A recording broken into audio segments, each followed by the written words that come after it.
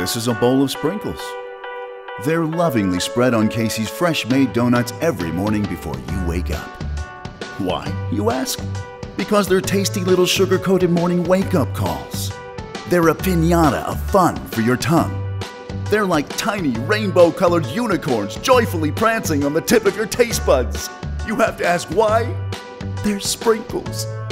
Casey's, famous for pizza and a whole lot more.